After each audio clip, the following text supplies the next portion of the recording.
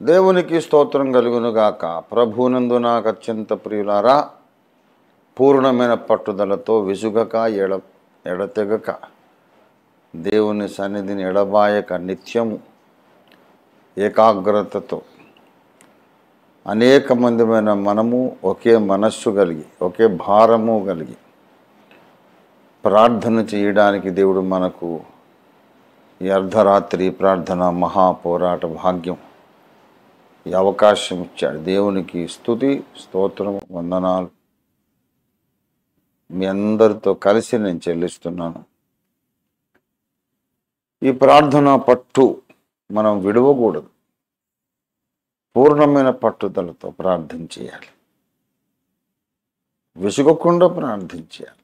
ఇంకెంతకాలము ఇంకెన్ని రోజులు అని ప్రశ్న అసలు పుట్టకూడదు. ప్రార్థన చేయాలంటే చేయాలంతే ఊపిరి పీల్చడం మనం విసుక్కుంటామా? పుట్టినప్పటి నుంచి మళ్ళీ దేవుడు పిలిచేదాకా పీలుస్తూనే ఉంటాం వదులుతూనే ఉంటాం ఊపిరి. అబ్బా ఇంకెన్నిసార్లు ఊపిరి పీల్చాలి అని మనం అనుకోం కదా? అలాగే ఇంకెన్నిసార్లు ప్రార్థన చేయాలి ఇంకెన్ని రోజులు ప్రార్థన చేయాలని ప్రశ్న కూడా మనకు అసలు రాకూడదు. ఊపిరి ఎంత సహజమో ప్రార్థన అంత సహజము. అనుకొని మనం ప్రార్థన చేస్తూనే ఉండాలి. అలా మన మైండ్ ఫిక్స్ అయిపోవాలి. ఈ మంచి తరుణం మీతో పాటు నాకు కూడా దేవుడు ఇచ్చాడు. దేవునికి స్తోత్రం చెల్లిస్తున్నాను. రెండు చిన్న ప్రార్థన చేసుకొని మనం కార్యక్రమంలో ప్రవేశిద్దాం. హల్లెలూయ హల్లెలూయ హల్లెలు ప్రేమ కలిగిన మా మహాపరిశుద్ధ తండ్రి జీవము కలిగిన మా మిక్కిలు గొప్ప దేవానికి స్తోత్రములు మా యేసు నాయన. నీవు నిజమైన దేవుడవు. సర్వాధికారి అని దేవుడవు మహాదేవుడవు మాకు నిత్య జీవము నీవయున్నావు తండ్రి. మా ఉనికికి ఆధారము నీవు మాకు క్షేమాధారము నీవు మా రక్షణాధారం నీవు మా నీతికి ఆధారము నీవు మా బలమునకు ఆధారము నీవు తండ్రినికి స్తోత్రాలు. అయ్యా నీ కార్యాలు భూమి మీద జరగాలి. దుష్టుల కార్యాలు చాలా విజృంభించి వ్యాపిస్తున్నాయి. కానీ నీ కార్యాలను మేము అంతకన్నా ఎక్కువగా మేము విజృంభించి రెచ్చిపోయి ప్రజ్వరిండి వ్యాపిస్తూ జరిగి జరుగుతుంటుండగా దేవుని కార్యాలు భూమి మీద ఉద్ధృతంగా అముమ్మరంగా జరుగుతుండగా మేము చూడాలని ఆశపడుతున్నాం. దుష్టుని కార్యాలు ప్రజలందరికీ వినాశకరమైనవే తప్ప నష్టదాయకమైనవే తప్ప మంచిదేవి లేదు కదా తండ్రి. కానీ నీ కార్యము జరిగితే ప్రజలు బాగుపడతారు నిత్య రక్షణ పొందుతారు గొప్ప రక్షణ పొందుతారు. శాశ్వత కాలం బాగుంటారు. మీ కార్యం భూమి మీద జరగాలి. మానవ లోకంలో ఆదాము కుటుంబ సభ్యులమైన ఈ మనుష్య జాతి మా మధ్యలో ఎసయాన్ని కార్యం జరగాలి. దుష్టుని కార్యాలు మీరు బంధించాలి. నీ కార్యాలు ఉధృతంగా ముమ్మరంగా మీరు జరిగించాలి. అందుకొరకు మేము వచ్చాం. ఎలా ప్రార్థన చేయాలో మాకు తెలియదు మా ఆశ అయితే నీకు తెలుసు. మీరే మమ్మను నడిపించండి. తగిన రీతిగా ప్రార్థించడానికి మాకు సహాయం చేయమని ఏస్తున్నాములో స్థుతించి ప్రార్థిస్తున్నాం తండ్రి. ఆమెన్ ఆమెన్ ఆమెన్ ఆమెన్ స్తోత్రం. హలీలు హలిలు హలిలు హలిలు రెండు వందల నలభై రెండవ పాట పాడుకుందాం. నా కృత పాట నాయసు ఇచ్చెను. నా నోటం కృత పాట నా యేసు ఇచ్చెను. ఆనందించేదను ఆయనని పాడెదన్ జీవిత కాలమంతా. అల్లేలుయ ఆనందించేదను ఆయనని పాడెదన్ జీవిత కాలమంతా. నా నోటం కృత పాట నా యేసు ఇచ్చను. నా నోటం కృత పాట నా యేసు ఇచ్చను. పాపపు బురద నుండి లేవనెత్తెను జీవ మార్గమున నన్ను నిలువబెట్టెను పాపపు బురద నుండి లేవనెత్తెను జీవ మార్గమున నన్ను నిలువబెట్టెను ఆనందించేదను ఆయనని పాడెదం జీవిత కాలమంతా. జీవిత ఆనందించేదను ఆయనని పాడెదం జీవిత కాలమంతా. నా నోటం కృత పాట నాయసు యేసు నానోటం కృత పాట నాయసు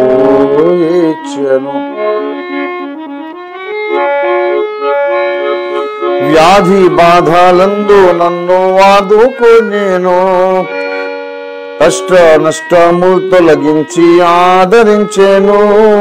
వ్యాధి బాధలందు నన్ను ఆదుకోనేను కష్ట నష్టములు తొలగించి ఆదరించేను ఆనందించేదను ఆయననే పాడేదం జీవిత కాలమంతా. అల్లేలుయ ఆనందించేదను ఆయననే పాడేదను జీవిత కాలమంతా. నా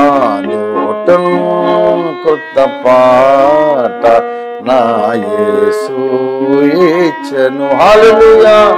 నా నోటం కృత పాట నా యేసు ఇచ్చెను. బంధు బంధుమిత్రులు జీవమయనే నిందను భారించి ఆయన మహిమను చాటేదా? తల్లి తండ్రి బంధు మిత్రులు జీవమాయనే.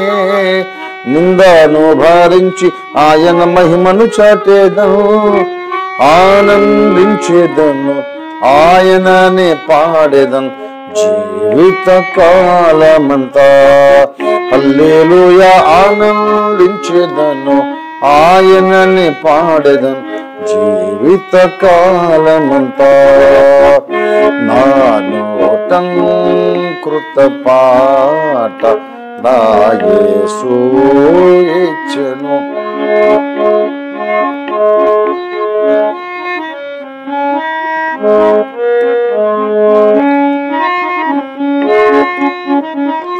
ఇహలోక శ్రమలు నన్నేమి చేయును?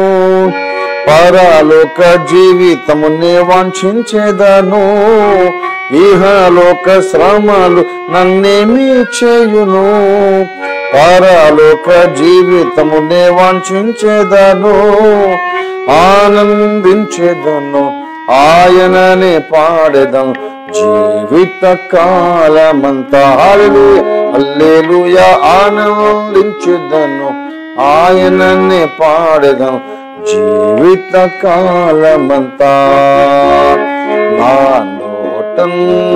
కృత పాట నాయసు వీచను నా నోటం కృత పాట నా యేసు ఇచ్చను ఆయననే పాడెదను జీవిత కాలమంతా. హల్లెలూయ ఆనందించెదను ఆయననే పాడేదను జీవిత కాలమంతా స్తోత్రం స్తోత్రం స్తోత్రం. దేవునికి స్థుతి స్తోత్ర మహిమలు కలుగును కాక హల్లెలూయా. ప్రభునందు ప్రియులారా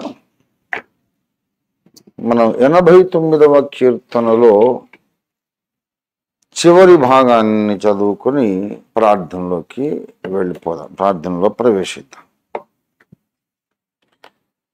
ఎక్కువ సమయం నేను తీసుకొని. ఎక్కువ మనం ప్రార్థనలో గడిపితే మంచిది. మనకు ఏ ప్రసంగమైనా ఒక బైబిల్ స్టడీ లాగానే ఉంటుంది.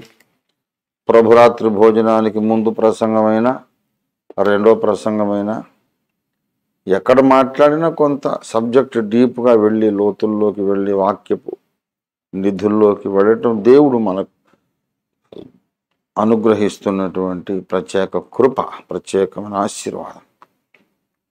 దేవుని వాక్యం అయితే అపరిమితమైంది. సకల సంపూర్ణతకు పరిమితి కలదని నేను గ్రహించి ఉన్నాను. అయితే నీ ధర్మోపదేశం అపరిమితమైనదని తొంభై ఆరవ వచనం నూట పంతొమ్మిదవ కీర్తనలో దావీదు భక్తుడు గానం చేస్తారు. అందుచేత అపరిమితము. దేవుని వాక్యం ఈ- ఈ- గ్రంథము కంటే ధర్మశాస్త్ర వాక్యముల కంటే బైబిల్లోని వచనముల కంటే మధురాతి మధురమైనది ఏది భూలోకంలో లేదు ఎక్కడా లేదు. కనుక ఎంతసేపైనా ధ్యానం చేయొచ్చు. మన గొప్పతనం కాదు బైబిల్ గొప్పతనం అది. బైబిల్ ప్రాశస్త్యం బైబిల్లోని విశిష్టత. కానీ మరి ప్రార్థన ఎక్కువసేపు చేయాలి కదా. ఎప్పుడూ వాక్యం ధ్యానిస్తుంటే మనం దేవునికి మొర పెట్టుకునే సమయం తక్కువైపోతుంది. అందుచేత కొంచెంసేపు మనం దేవుని వాక్యాన్ని ధ్యానము చేసుకుందాం. ఎనభై తొమ్మిదో కీర్తన అన్నాను కదా. యాభై యాభై ఒకటి యాభై రెండు చివరి మూడు వచనాలు చదువుకుందాం. ప్రియులారా దయచేసి ఆ, శ్రద్ధగా మీ దగ్గర బైబిల్స్ ఉంటే తీసి చూడండి లేకపోతే శ్రద్ధగా విన్నా సరిపోతుంది. ఉంటే చూస్తే ఇంకా బెటర్. ప్రభువా నీ సేవకులకు వచ్చిన నిందను జ్ఞాపకము చేసుకొనుము. బలవంతులైన జనులందరి చేతను నా ఎదలో నేను భరించుచున్న నిందను జ్ఞాపకము చేసుకును యహోవా అవి నీ శత్రువులు చేసిన నిందలు. నీ అభిషిక్తుని నడతల మీద వారు మోపుచున్న నిందలు. యహోవా నిత్యము స్థుతి నందునుగాక ఆమెన్ ఆమెన్. తృతీయ స్కంధము యొక్క ముగింపు. చిన్న మాట ప్రార్థన చేసుకుందాం. ప్రేమ కలిగిన మా ఏసయ్య దయచేసి మాతో నాతో మాట్లాడండి అయ్యా మాకైతే ఏమీ తెలియదు అజ్ఞానులం తండ్రి. మట్టి లోకంలో పుట్టాము. ఈ మట్టి లోకాన్ని చూస్తూ పెరిగాం. మహిమ స్వరూపుడా. నీ ముఖదర్శనం అనే మహాభాగ్యం మాకు కలిగితే బాగుండునని హృదయమారా ఆశ పెట్టుకొని ఉన్నాం. మనుషులు ఎన్నెన్నో మాట్లాడుతుంటారు. వాళ్ళతో మేము మాట్లాడుతుంటాం. కానీ నీ స్వరం మాకు వినబడితే బాగుంటుందని ఆశ పెట్టుకున్నాం. అయ్యా కనికరించండి. మా మీద కోపపడకండి తండ్రి. యహోవా తండ్రి నీవు దోషాలనే కనిపెట్టి చూడాలనుకుంటే నీ ముందు ఎవరు నిలబడలేరు. మేము కూడా నిలబడలేం. అయితే జనులు నీ యందు భయభక్తులు నిలుపునట్లు నీ యొద్ద క్షమాపణ దొరుకును కృప దొరుకును. అనే మాట మీద మేము ఆధారపడి ఆ మాటను బట్టి నూట ముప్పైవ కీర్తనలోని వాగ్దానాన్ని బట్టి ధైర్యం తెచ్చుకొని సన్నిధికి వచ్చాము. మాతో కొంచెం సేపు మీరు మాట్లాడి మమ్మల్ని ఆయత్తపరిచి ప్రార్థన పోరాటము మా ద్వారా మీరే జరిగించి ఘన విజయాలు మాకు దాయిచేయమని ఏసయ్య నామంలో స్తుతించి ప్రార్థిస్తున్నాము తండ్రి. Amen amen amen. ప్రభునందు నాకు అత్యంత ప్రియులారా చదివినటువంటి లేఖన భాగము దావీదు మహారాజు రచించిన కీర్తన కాదు. సొలోమోను గాని కోరహు కుమారులు కానీ రచించినది కాదు. ఒక ప్రత్యేకమైన వ్యక్తి యజ్రాహీయుడైన ఏతాను రచించినది దైవ యజ్రాహీయుడైన హేమాను ఎనభై ఎనిమిదవ కీర్తన రాశాడు. యజ్రాహీయుడైన హేమాను కొరహు కుమారుల కీర్తన అని చెప్పబడింది. కొన్ని కీర్తనలు కోరహు కుమారుల కీర్తననే చెప్పారు తప్ప రాసినోళ్ళ పేరు రాయలే. అక్కడ identity of the person not important. వాళ్ళ ఫ్యామిలీ హిస్టరీ ఇంపార్టెంట్ అయితే అలా రాశాడు. రచించిన వాడు యజ్రాహీయుడైన హేమాను ఎనభై ఎనిమిదవ కీర్తన. ఇది కోరహు కుమారుల కీర్తనే అన్నాడు. ఇక్కడ పర్సన్ ఆల్సో ఇంపార్టెంట్ అన్నమాట. Who wrote this psalm is an important issue అలాగే ఎనభై తొమ్మిది యజరాహీయుడైన ఏతాను రచించిన దైవధ్యానం కోరహు కుమారుడు శిక్ష తప్పించుకున్న తర్వాత ఇక మందిరంలోనే ఉండిపోయారు. బలిపీఠం దగ్గరే గూళ్ళు కట్టుకునే పిచ్చుకలలాగా ఉండిపోయారు. మందిర సేవలో ఉన్నారు. ఆ కోరహు సంతానములో నుండే సమూయేలు పుట్టాడు. కోరహు సంతానమే అక్కడి నుంచి వచ్చిన వాడే సమూయేలు. మందిర సేవలో వాళ్ళు. నిష్ణాతులు ప్రతిష్ఠితులు. ఇక్కడ ఏతాను అని ఇతను చెబుతున్నాడు. అంటే లేవీయులే వీళ్ళు. లేవీయులు. కోరహు లేవీయుడే కదా. లేవీయుడే కోరహు. వీళ్ళు లేబియ వంశమే వీళ్ళు. అయితే ఏతాను అనే వ్యక్తి రాస్తున్నాడు. మరి అనేక విషయాలు ఇందులో చెప్పబడి ఉన్నాయి. దావీదు తర్వాతి తరము వాడు ఇతను ఏతాను. ఎందుకంటే దావీదును దేవుడు ఎలా పిలిచాడో అభిషేకించాడో ఏం వాగ్దానాలు చేశాడు అవన్నీ ప్రస్తావిస్తున్నాడు పంతొమ్మిది ఇరవై ఇరవై ఒకటి వచనాలలో. తర్వాత సొలమోను సొలమోనుకు చేసినటువంటి వాగ్దానం ఇరవై ఆరు ఇరవై ఏడు అవి సొలమోనుకు చేసిన వాగ్దానం. ఇలాగ దావీదుకు దేవుడు చేసిన వాగ్దానం సులమోనుకు చేసినటువంటి వాగ్దానం ముప్పై మూడు. నా కృపను అతనికి బొత్తిగా ఎడము చేయను. ఇది సులమోనుకు చేసిన వాగ్దానం. ముప్పై ఏడు. నా పరిశుద్ధత తోడని నేను ప్రమాణము చేసి తిని దావీదుతో నేను అబద్ధమాడను అని ఇట్లు సెలవిచ్చి ఉండియు నువ్వు మమ్మను వదిలేశాను. ఇది దావీదు తర్వాత సొలమోను తర్వాత. ఆ చరిత్రను జ్ఞాపకం చేసుకుంటూ వ్రాస్తున్నటువంటి కీర్తన. ఈ కీర్తనలో అనేక విషయాలు ఉన్నాయి అనేక అంశములు ఉన్నవి. మరి ఈ అంశములన్నిటినీ మనం ధ్యానించాలంటే ఇప్పుడు ఈ ప్రసంగంలో కుదరదు సాధ్యము కాదు అవసరం కూడా లేదు. ప్రస్తుత ప్రసంగం యొక్క స్కోప్ చాలా చిన్నది. ఎక్కువ విషయాలు చెప్పడానికి అవకాశం లేదు. అనవసరంగా ప్రసంగం విస్తరిస్తుంది మళ్ళీ అసలు సంగతి మరుక్కుపోతుంది మరుగైపోతుంది. అంచేత ఈ యజ్రాహీయుడైనటువంటి ఏతాను రాసిన దైవ ధ్యానములో అనేక విషయాలు చెబుతూ చెబుతూ చెబుతూ యాభైవ వచనంలో ఏమంటున్నాడు చూడండి నా ఎదలో నా ఎదలో నేను భరించుచున్న నిందను జ్ఞాపకము చేసుకునము. బలవంతులైన జనులు ఉన్నారు వాళ్ళు నా మీద నిందలు మోపుతున్నారు ఆ నిందను నా గుండెల్లో ఒక అగ్నిలాగా నేను భరిస్తున్నాను.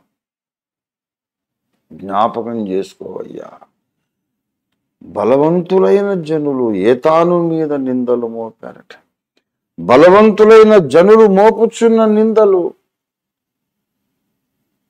ఏతాను గుండెల్లో ఒక అగ్గిలాగా మండుతూ రాత్రి మగళ్ళ తనకి నిద్ర లేకుండా చేస్తున్నాయి. ఈ నిందలు మోపుచున్నవారు బలవంతులైన జనులు అని మాత్రమే కాదు అసలు వాళ్ళ క్యారెక్టర్ ఏమిటో వాళ్ళ యొక్క జీవిత పరమావిధి ఏంటో చెప్పాడు. యాభై ఒకటి అవి యహోవా దేవా అవి నీ శత్రువులు చేసిన నిందలు. దేవుని శత్రువులు కొంతమంది ఉంటారు భూమి మీద. దేవుడు అంటే ఇష్టం లేదు. దేవుడు అంటే ఇష్టం లేదు. దేవుణ్ణే ద్వేషిస్తారు. చాలా గొప్ప గొప్ప మహానుభావులు మేధావులు కవులు పండితులు. నేను ఇందాక ఇంటర్నెట్లో చూశాను గొప్ప ఆయన ఒక పెద్ద ఆయన చెప్పాడు. మానవత్వం లేనివాడు మతం ముసుగేసుకుంటాడట.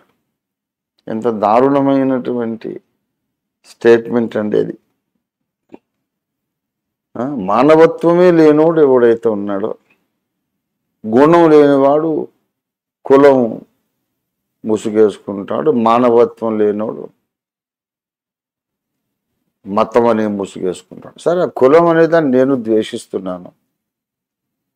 బాబాసాహెబ్ అంబేద్కర్ కూడా ద్వేషించాడు. కులం అనేదాన్ని ఎందరో మహానుభావులు ద్వేషించారు. కులం అనేది సామాజిక మూఢనమ్మకం దురన్యాయం. కానీ మతం అనే ముసుగేసుకుంటారట. మానవత్వం లేనోళ్ళు మతం అనే ముసుగేసుకుంటారట. మదర్ తెరసా కంటే మానవతా మూర్తి ఎక్కడైనా మనకు కనపడుతుందా? మానవత్వం లేకనే ఆమె భక్తి ముసుగేసుకుందా? అమెరికాలో నల్ల జాతి వాళ్ళకు తెల్ల జాతి వాళ్ళకు సమాన హక్కులు సాధించాలని జీవితాన్ని పణంగా పెట్టి పోరాడినటువంటి doctor Martin Luther King junior మానవత్వం లేకనేనా? సమాన హక్కుల కొరకు పోరాడాడు.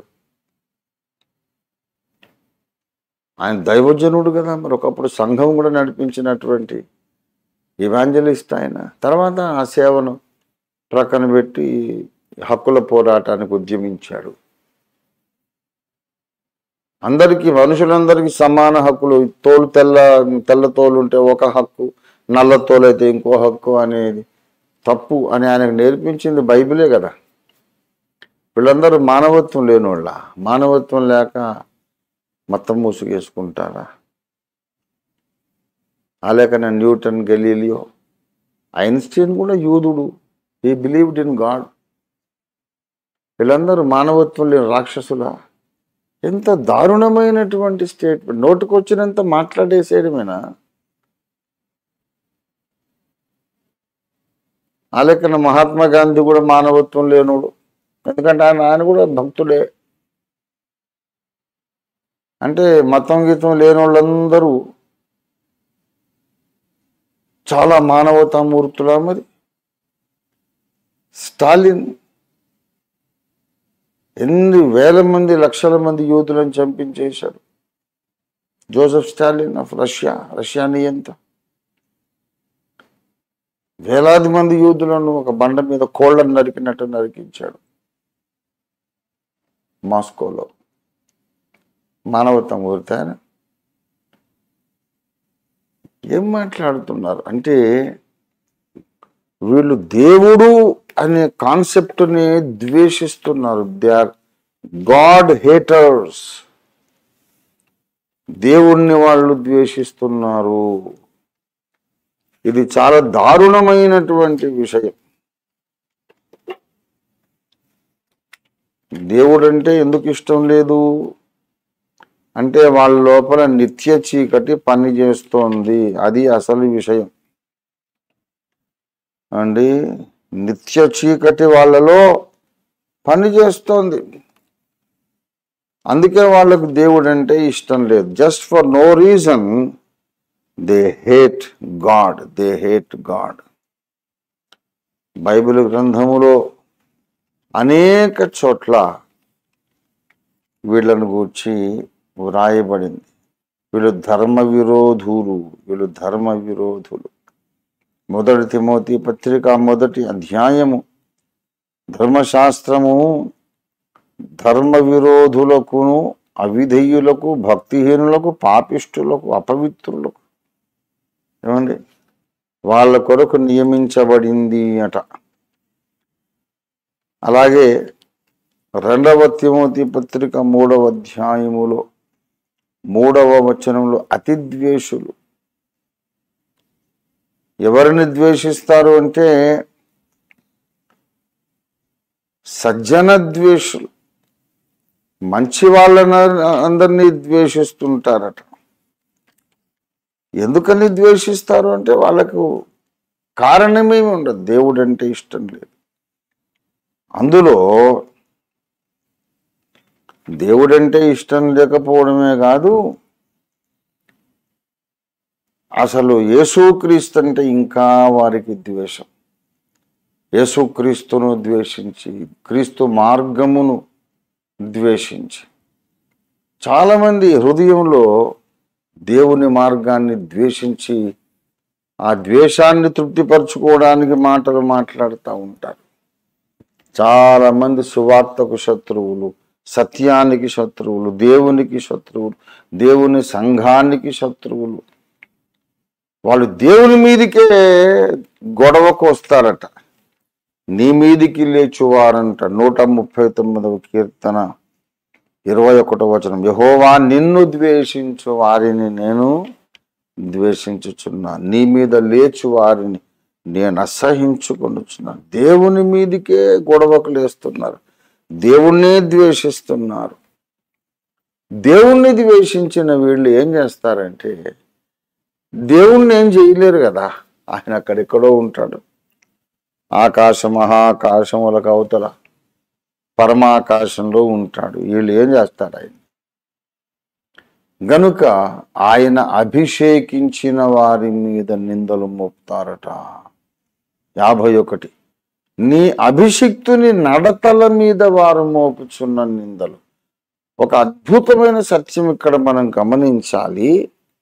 యజురాహీయుడైన ఏతాను గుండెల్లో ఒక అగ్నిజ్వాల కాలుస్తూ ఉన్నట్టుగా వేదన అనుభవిస్తున్నాడు కారణం ఏంటంటే ఏ తాను మీద ఎవడు నింద మోపలేదు. ఇంకొకడు ఎవడో ఉన్నాడు అభిషిక్తుడు ఉన్నాడు అతని మీద వాళ్ళు నింద మోపినందుకు అతని మీద థర్డ్ పర్సన్ నీ అభిషిక్తుని నడతల మీద వాళ్ళు నింద మోపుతున్నందుకు నా హృదయంలో నేను ఆ వేదన ఆ బాధని నేను అనుభవిస్తున్నానన్నాడు. అభిషిక్తుని నడతలంటే ఇజ్రాహీయుడు అని ఏతాను తన గురించే తాను చెప్పుకొని ఉండొచ్చు కదా. అభిషిక్తుని నడతలంటే ఏతాను నడతలే అని చెప్పుకొని ఉండొచ్చు కదా అని మీరు అనుకోవచ్చు కానీ అంతగా పై వచ్చిన చూస్తే యాభైలు నీ సేవకులకు వచ్చిన నిందను. అంటే ప్లూరల్. ఒకడైతే ఏతానే అయి ఉండొచ్చు. మరి ఇంకా కొందరు ఉన్నారు. వాళ్ళ మీద నిందలు వచ్చినాయి. ఆ నిందలన్నీ కలిసి ఈయన మోస్తున్నాడు ఏతాను. కనుక ఒక విషయం మాత్రం చాలా సుస్పష్టము తేట తెల్లంగా కనపడుతుంది. ఎవరెవరి మీదకో వచ్చినటువంటి నిందలను ఈయన తన గుండెల్లో మోసి ఏడుస్తూ ఉన్నాడు ప్రార్థన చేస్తూ ఉన్నాడు. ప్రభువా ఒకసారి జ్ఞాపకం చేసుకో. ఎందుకు ఇలా చేస్తున్నావు? దయచేసి తొందరగా బయటికి రా తండ్రి. కనబడకుండా ఎక్కడో ఉన్నావేంటి? మాకు గడపడేటట్టు బయటికి రమ్మంటున్నాడు. నలభై ఆరవ వచనం నలభై ఆరవ వచనం. యహోవా ఎంతవరకు నీవు దాగి ఉండు? నిత్యము దాగి ఉండుగా ఉందువా బయటకు వచ్చేసి నీ ఉగ్రత ఎంతవరకు అగ్నివలే పండును? ఇక్కడ తిరకాసు ఒకటి ఉంది దేవుడు తన ప్రజల మీద కోపగించుకొని వెళ్ళిపోయి దాక్కున్నాడట. తన ప్రజల మీద తన అభిషిక్తుల మీద తన సంఘము మీద తన సమాజము మీద కోపగించుకొని పోయి కనబడకుండా దాక్కున్నాడట. ఇప్పుడు నువ్వు బయటికి రావయ్యా. నువ్వు ఎక్కడికో వెళ్ళిపోయి దాక్కున్నావు గనుక నీ సమాజము మీదికి దేవద్వేషులు వస్తున్నారు నీ విరోధులు వస్తున్నారు నిందలు మోపుతున్నారు. గనుక నువ్వు బయటకు వచ్చేసి కార్యము జరిగించు. ఇప్పటిదాకా నువ్వు చేసినటువంటి కార్యం ఎలా ఉందంటే నలభై రెండులో అతని శత్రువులు అంటే అభిషిక్తుడైన వాని శత్రువులను నీవు సంతోషపరిచావు అంటున్నాడు. ఇప్పుడు వచ్చేసి నీ అభిషిక్తుణ్ణి సంతోషపరచు. ఒకసారి జ్ఞాపకం చేసుకో తండ్రి నువ్వు వచ్చేసావు నువ్వు ప్రత్యక్షము కావాలి నువ్వు కార్యాలు జరిగించాలి. నువ్వు మౌనముగా కనబడకుండా నీ కార్యాలు మాకు చూపించకుండా ఎక్కడో దాక్కొని ఉంటే నీ శత్రువులు చెలరేగి ఇష్టానుసారంగా అక్రమంగా ప్రవర్తిస్తున్నారు. ఈ పరిస్థితి చూసి నీ సేవకులు ఏమి సాధించలేకుండా ఉండటం చూసి నేను బాధపడుతున్నాను తండ్రి. ఒకనాడు నీవు వాగ్దానము చేసినటువంటి నీ కృపాతిశయాలు ఎక్కడికి ఏమైపోయినాయి? నీ కృపాతిశయము ఎక్కడా? గొప్ప గొప్ప వాగ్దానం చేశావు కదా వాగ్దానాలు ఎన్నెన్నో చేశావు కదా. ఆ వాగ్దానాలు ఏమైపోయినాయి ప్రభువా? అని ప్రశ్నిస్తూ కార్యాచరణ కొరకు దేవుణ్ణి ఆహ్వానిస్తూ మేల్కొలుపుతూ దాక్కున్న నువ్వు బయటికి రా తండ్రి అని పిలుస్తున్న కీర్తన ఎనభై తొమ్మిదవ కీర్తన. ప్రభా నీవు దిగివచ్చి దర్శనమిచ్చి బలమైన కార్యాలు చేసి నీ సత్యసంధతను నువ్వు నిరూపించుకో. మనం ఎప్పుడు ఒక వా ఒక వాక్యము ఎత్తి చెప్పుకుంటాం కదా. కృపాసత్యములు కృపా సత్యములు నీ సన్నిధాన వర్తులు నీతి న్యాయములు నీ సింహాసనానికి ఆధారం. నీతి న్యాయములు నీ సింహాసనానికి ఆధారం. కృపా సత్యములు నీ సన్నిధాన వర్తులు. ఎనభై తొమ్మిదో కీర్తనలోనే ఉందన్నమాట పద్నాలుగు వచనంలో. ఎందుకన్నాడు తెలుసా? కృపయు సత్యమును నీకు నీ సన్నిధాన వర్తులు అని ఎందుకన్నాడు? అంటే దేవాన్ని సత్యం ఏదో ఇప్పుడు చూపించమని తర్వాత అడుగుతున్నాడు అన్నమాట నీవు చేసిన వాగ్దానములు జ్ఞాపకం చేసుకో. ఇరవై రెండు నా సేవకుడైన దావీదు మీద ఏ శత్రువును అతని మీద జయమునందడు. దోషకారులు నా దాసుడైన దావీదును బాధపరచరు. అతని ఎదుట దావీదు ఎదుట నిలవకుండా నేను అతని విరోధులను పడగొట్టేదను. దావీదు మీద పగబట్టు వారిని మొత్తెదను. ఇవన్నీ నీ వాగ్దానాలు కావా ఇరవై ఏడు. కావున నేను అతని నా జ్యేష్ఠ కుమారునిగా చేయుదును. భూరాజులలో అతి ఉన్నతునిగా అతని ఉంచేదను. ఎవరీతడు ఇరవై వచనం నా సేవకుడైన దావీదు. ఆకాశమున్నంత వరకు అతని సింహాసనం నేను నిలిపెదను. సత్యము కదా నీ దగ్గర ఉండేది అని చెప్పి పద్నాలుగు వచనాలు చెప్పి ఇవన్నీ చెప్తూ చెప్తూ ఆఖరికి ఏమన్నాడు తెలుసా? సత్యం ఏమైందో అంటున్నాడు. ఆఖరికి ఎక్కడ కంక్లూజన్ ఇచ్చాడు తెలుసా? ముప్పై ఎనిమిదిలో ఇట్లు సెలవిచ్చి ఉండియు నీవు మమ్మను విడనాడి ముప్పై మూడులో ఏం వాగ్దానం చేశావు? అబద్ధికుడనై నా విశ్వాస్యతను విడువను నా కృపను అతనికి బొత్తిగా ఎడము చెయ్యను. నా నిబంధనను రద్దుపరచను. నా పరిశుద్ధత తోడువని నేను ప్రమాణము చేసి ఇట్లు సెలవిచ్చి ఉండి పరిస్థితులు వేరేగా ఉన్నాయి. ఏది నీ సత్యం అంటాడు? దేవుని వాగ్దానములన్నీ జ్ఞాపకం చేసుకొని దేవునికి జ్ఞాపకం చేస్తున్న యహోవా జ్ఞాపక కర్త ఏతాను.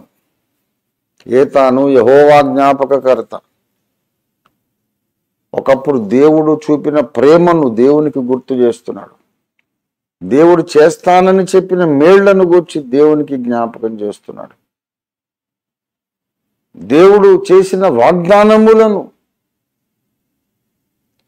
దేవుడు అనుగ్రహించిన కృపను జ్ఞాపకం చేస్తున్నాడు. మరి ఇప్పుడు పరిస్థితి వేరుగుంది నాయన. ఇన్ని కృపలు మాకు వాగ్దానం చేసి ఇప్పుడేమో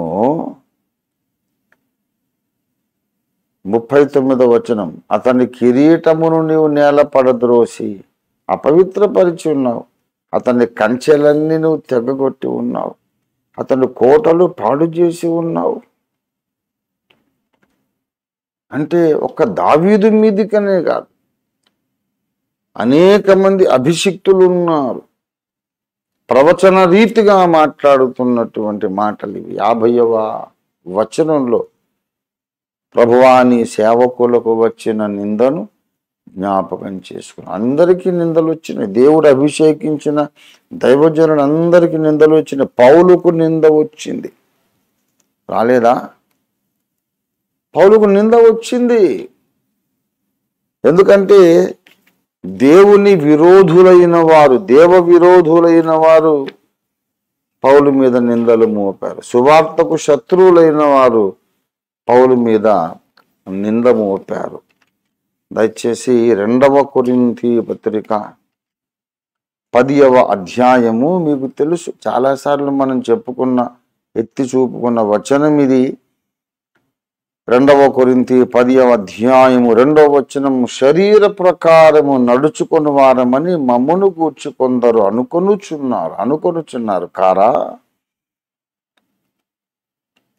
మేము శరీర ప్రకారము నడుచుకునే వాళ్ళం అనుకుంటున్నారు. అంటే ఏంటంటే కొన్ని కొన్ని తప్పులు చేస్తూ ఉంటాడండి. ఆయన ఏమంత పర్ఫెక్ట్ ఏం కాదు అని చెప్పుకుంటున్నారు. ఒక దావీదు మీదకే కాదు నింద రావడం పౌలు మీదకే వచ్చింది. అసలు దేవుడు వాడుకున్న ప్రతి దైవజనుడి మీదకి నింద తప్పకుండా వస్తుంది వచ్చింది. ఒక్క పౌలు దావీదే కాదు పౌలు వెంటున్నోళ్ళ మీద కూడా వచ్చిందట. పౌలు సహకారులు సహదాసులు ఉన్నారు కదా వాళ్ళ మీద కూడా వచ్చిందట నింద. రెండవ కొరింతి పత్రిక పదమూడవ అధ్యాయం ఆరవ వచనం చూస్తే మేము అని బహువచనం వాడుతున్నాడు. మేము భ్రష్టులము కామని మేము భ్రష్టులము కామని మీరు తెలుసుకొందురని నిరీక్షించుచున్నాను. మేము భ్రష్టులం కాము అంటే మేమంటే ఇంకా పౌలు వెంటున్నోళ్ళు ఎవరైనా కావచ్చు తీతు తిమోతి ఎపఫ్రాలు కా. ఎవరెవరో మనకు తెలియదు పౌలు అతని వెంట ఉన్నోళ్ళందరూ అదే బాపటండి పౌలు శరీర ప్రకారం నడుచుకుంటాడు ఆయన బృందం మొత్తం అదే టీం అంతా అదే వాళ్ళది. అలాంటి పనికి మాలినటువంటి లక్షణాలు గల టీం అని అనుకున్నారు. మేము భ్రష్టులము కాము నేను నా టీము భ్రష్టులం కామని మీరు తెలుసుకుంటారని నేను ఎదురు చూస్తున్నానంటాడు. ప్రతి తరములో తమ హృదయములో చేదైన వేరు మొలిచిన వారు నిష్కారణ ద్వేషముతో నింపబడిన వారు ప్రతి తరములో దైవ సేవకుల మీద నిందలు మోపుతానే ఉన్నారు. ఇది ఒక్కరిని గురించి కాదు.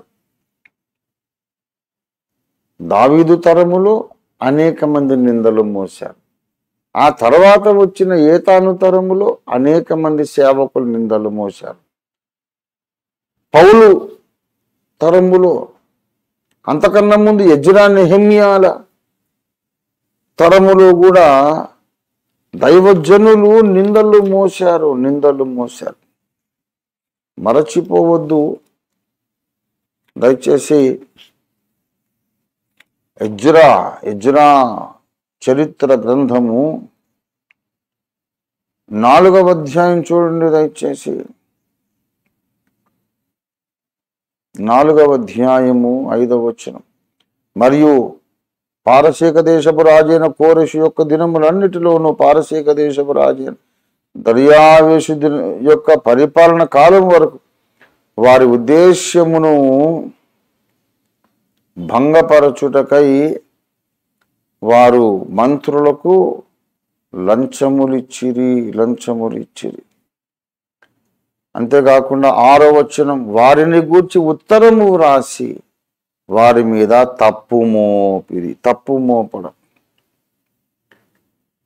తప్పు మోపడం. చూసారా నాలుగు వారు యజ్రాలో లంచాలు పెట్టి ఒక దుష్ దుష్ప్రచారం చెడు ప్రచారం క్రియేట్ చేశారు సృష్టించారు.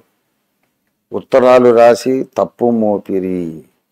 ఈ తప్పు మోపడం అనేది ఒక్క తరంలో కాదు. దావీదు తరము సొలమూను తరము తర్వాత యజ్రాహీయుడైన ఏతాను హేమానుల తరము. తర్వాత యజ్రా నిహమ్యాల నెహమ్యాల తరము.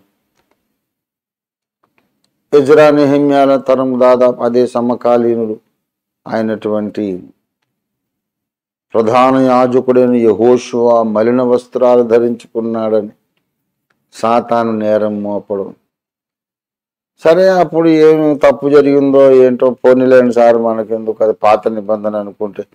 పోని కొత్త నిబంధనలో పౌలు మీద అతని అనుచరుల మీద అనుయాయుల మీద పౌలు సహకారుల మీద కూడా నిందలు మోపడం. ఈ నిందలు మోపే ఒక చీకటి శక్తి సమాజంలో పనిచేస్తా ఉంది. కొంతమందికి ఇదే పని. మరి వాళ్ళ గొప్పతనం ఏంటో చెప్పరు. వాళ్ళు సాధించిందేంటి? వాళ్ళు దేవుని దగ్గర పొందిన ప్రత్యక్షతలు ఏంటి సమాజానికి వాళ్ళు చేసిన మేలేమిటి ఏంటి? నీ ద్వారా ఎవడు ఏ సత్యం నేర్చుకున్నాడు? ఏం లేదు. కానీ దేవుని దగ్గర ప్రత్యక్షతలు పొంది సమాజానికి అందిస్తున్నటువంటి ఆధ్యాత్మిక ఐశ్వర్య వంతులు ఐశ్వర్యవంతులు ఆధ్యాత్మిక సంపన్నులు జ్ఞాన సంపన్నులను నిందించి చెడ్డ మాటలు పలికి. ఆఖరి కంక్లూజన్ ఏంటి? అంటే దేవుడు చాలా గొప్ప దేవుడు అని కాదు కంక్లూజన్ ఈ మనిషి మంచోడు కాదని కంక్లూజన్ ఎంత తెలివి తక్కువ పని. మనిషి మంచోడు కాదని నువ్వు చెప్పేది ఏమిట్రా? దేవుడు ఎప్పుడో చెప్పాడు. ప్రతి భక్తుడు చెప్పుకున్నాడు నేను మంచోడిని కాదని. నా అంత నీతిమంతుడే లేడని చెప్పుకున్నాడు ఎవడైనా ఉన్నాడా? ఉన్నాడా? నా అంత నీతిమంతుడు లేడని చెప్పుకున్న భక్తుడు ఉన్నాడా? అబ్రహాము నేను దుమ్మును ధూళినన్నాడు. మీకు తెలుసు.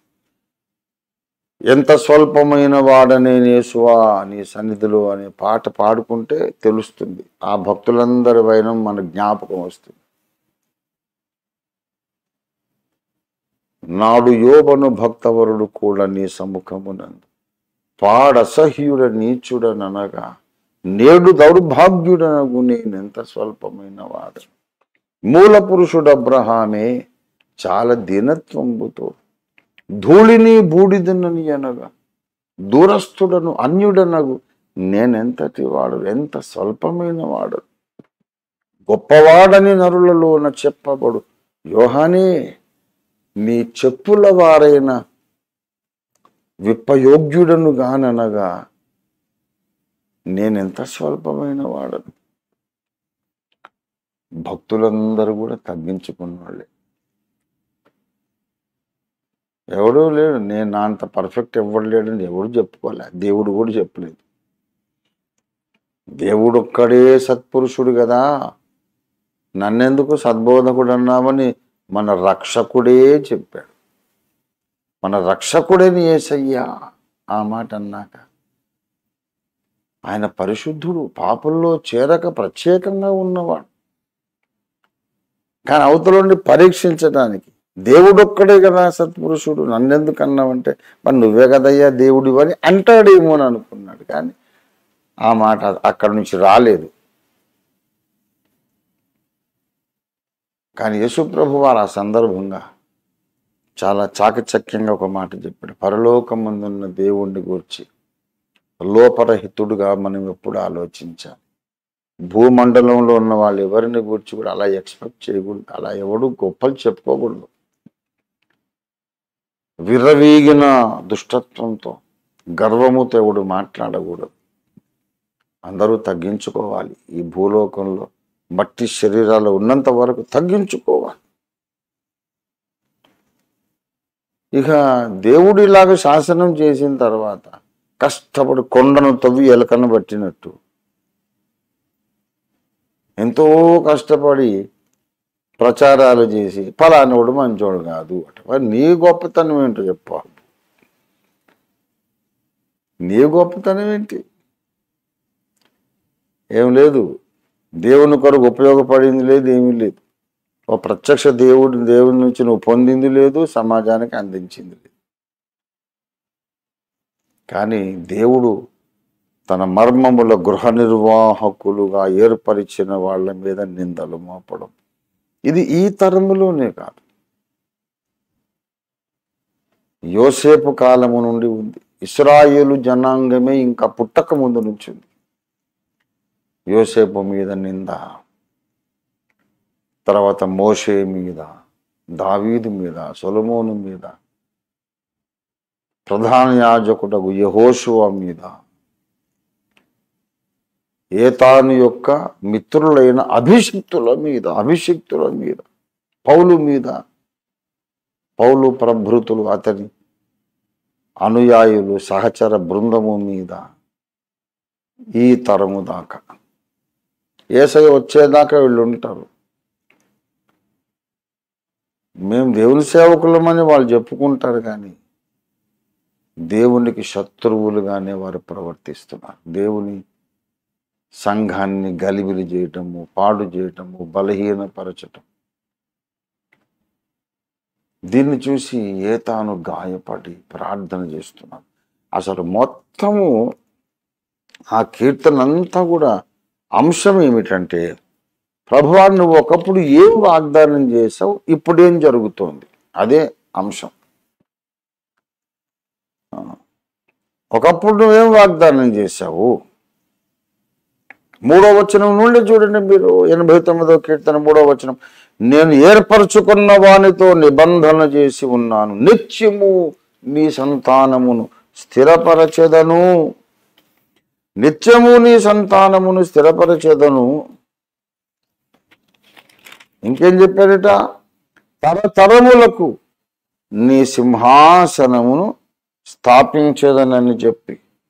తరతరములకు నీ సింహాసనమును స్థాపించదనని చెప్పి నా సేవకుడైన దావీదుతో ప్రమాణము చేసి ఉన్నాను అని అన్నావు కదా ప్రభా అని గతమంతా జ్ఞాపకం చేస్తున్నాడు. ప్రభువా నీ వాగ్దానాలు నీ ప్రేమ నీ కృపాను జ్ఞాపకం చేసుకో. ఇప్పుడు జరిగేదంతా వేరేగా ఉంది. నీవు చెప్పిన మాట నెరవేర్చు తండ్రి. ఎందుకనగా కృపా సత్యములు నీ సన్నిధానవర్తు ఈ సందర్భంగా చెప్పిన మాట ఎనభై తొమ్మిదో కీర్తన పద్నాలుగో వచనంలో కృపా సత్యములు నీ సన్నిధానవర్తులు నీతి న్యాయములు నీ సింహాసనానికి ఆధారం అని ఎందుకు చెప్పాడంటే దేవుణ్ణి ప్రశ్నిస్తున్నాడు. దేవుని జ్ఞాపకకర్తగా మాట్లాడుతున్నాడు. నీతిని న్యాయమును నీ సింహాసనానికి ఆధారము చేసుకున్న నీవు నీవు ఇచ్చిన మాట నెరవేర్చకుండా ఉంటావా? ఎలా ఉంటావు? కృపా సత్యములు నీ సన్నిధాన వర్తులు కదా నీ అభిషిక్తులను నీ కృపతో దర్శించకుండా ఉంటావా? ఎలా ఉంటావు? జ్ఞాపకం చేసుకో. ఏమండి? ఆ మాట జ్ఞాపకకర్త అన్నాను కదా. ఎందుకు అన్నానంటే ఆ మాటే రాయబడింది ఇక్కడ. యాభయో వచనంలో జ్ఞాపకము చేసుకును. నీ సేవకులకు వచ్చిన నింద జ్ఞాపకం చేసుకో. నా ఎదలో నేను మోయుచున్న నిందను జ్ఞాపకం చేసుకో. నిందే కాదు నీ వాగ్దానములు జ్ఞాపకం చేసుకో. నీ కృపలను జ్ఞాపకం చేసుకో. నీ సింహాసనం కింద ఉన్న స్తంభాలే నీతి న్యాయములన్న సంగతి జ్ఞాపకం చేసుకో. కృపా సత్యములు నీ సన్నిధాన వర్తులు కదా. ఆ కృపను మాకు చూపించటం నీవిచ్చిన వాగ్దానమే కదా జ్ఞాపకం చేసుకో. దేవుణ్ణి యాక్షన్లోకి పిలుస్తున్నాడు కార్యాచరణలోనికి పిలుస్తున్నాడు. యహోవా జ్ఞాపక కర్తల్లో గొప్పవాడు యజ్రాహీయుడైన ఏతాను.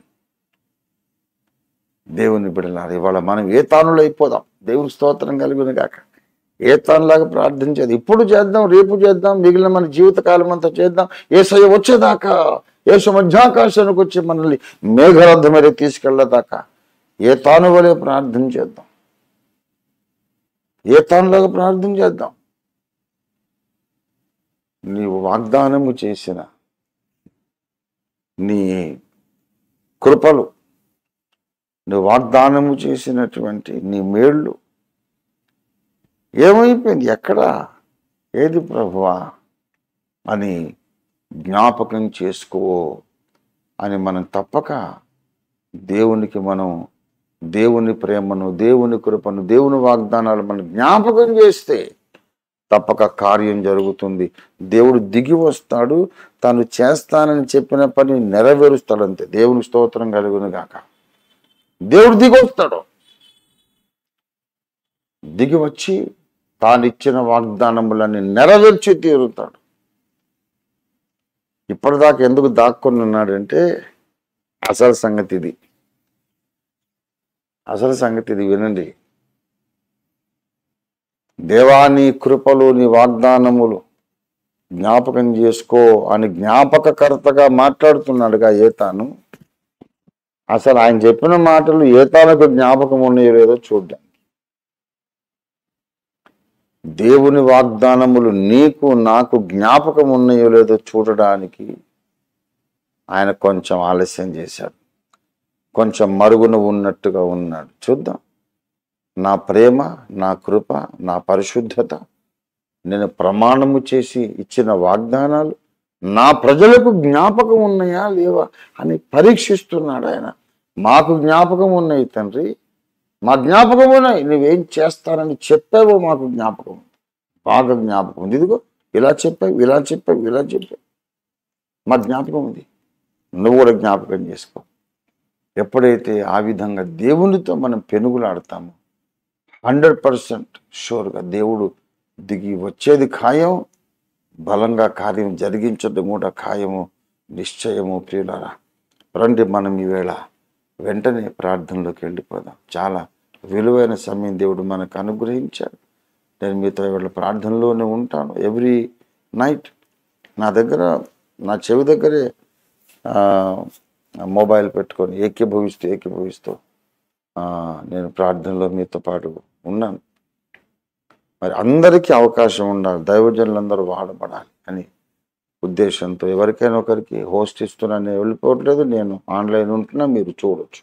అండ్ ఐమ్ ఆల్సో ఏమో పెట్టుకుని నిద్రపోయేవో ఏమంటూ అని అనుకోకుండా నేను మెసేజెస్ కూడా ఇస్తున్నాను చూడండి. I'm with you in prayer. అందరం ఏక మనస్సు కలిగి ప్రార్థన చేద్దాం. ఏ తానులాగా ప్రార్థన చేద్దాం. ఇది ఈ రోజు కాదు ఇది మొదలుకొని మన జీవితకాలం అంతా శేష జీవితం అంతా ఏ తాను వలె ప్రార్థన చేద్దాం. ఎందుకంటే దేవుని వాగ్దానములు దేవునికే జ్ఞాపకం చేయడానికి అసలు మనకు ముందు జ్ఞాపకం ఉండాలిగా? మనకు జ్ఞాపకం ఉండి వాటిని దేవునికి జ్ఞాపకం చేయగలిగినప్పుడు తప్పక ప్రచండమైన బలమైన దేవుని కార్యం జరిగి తీరుతుంది. రండి మనం ఈ దినాన ఈ వాగ్దానాన్ని స్వతంత్రించుకుందాం. తెల్లవారగానే అద్భుత కార్యాలు చూద్దాం. దేవుని స్తోత్రం. హల్లెల్లుయ వేకోజాము దాకా ప్రార్థన చేద్దాం. బళ్ళును తెల్లవారగానే అద్భుత కార్యాలు చూద్దాం.